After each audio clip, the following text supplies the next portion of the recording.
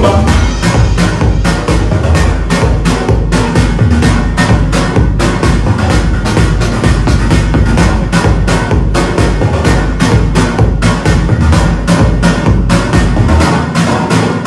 a n o u